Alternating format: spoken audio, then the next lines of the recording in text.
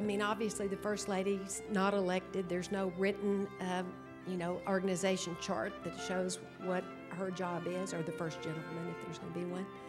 Um, but on the other hand, what I think, and this is after studying First Ladies and knowing some of them very well, like my own mother in law, or one that I admired very much, a fellow Texan, Lady Bird Johnson, is that we benefit, our country benefits by whatever our First Lady's interests are. And that in many cases, I've said this before, you probably heard it, the First Lady's records are better than the President's because they don't have to deal with every single issue.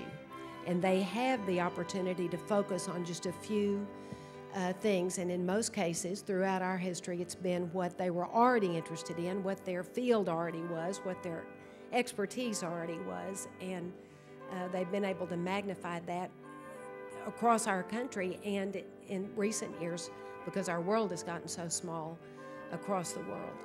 And I think that's uh, what First Ladies do. And I really believe also that the American people want uh, the First Ladies to do whatever they want to, that they don't think the First Ladies have to do something specific.